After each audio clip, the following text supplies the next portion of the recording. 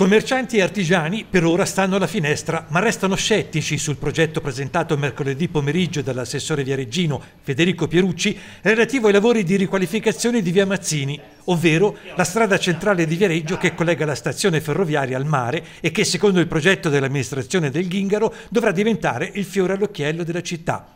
Commercianti, ma anche cittadini, non chiudono la porta al progetto, ma chiedono un dialogo e di essere coinvolti, temendo che via Mazzini diventi una seconda via Garibaldi. Se ci fosse una preferenziale, sì.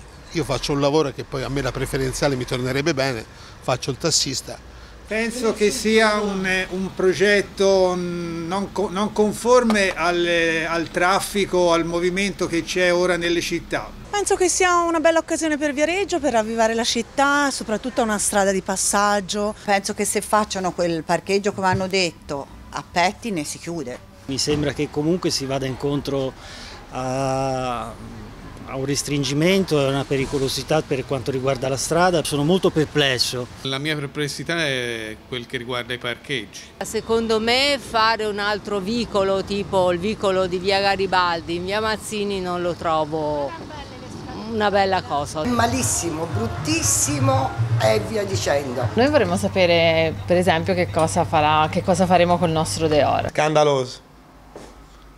Basta. Dunque c'è area di dissenso tra i cittadini e come abbiamo sentito in molti bocciano quello che sembra essere un progetto radicale dell'amministrazione viareggina.